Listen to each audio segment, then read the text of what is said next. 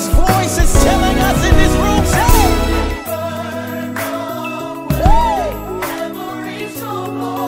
And so he said, our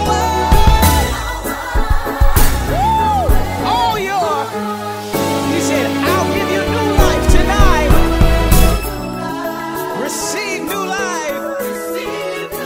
See, I'll give you new life.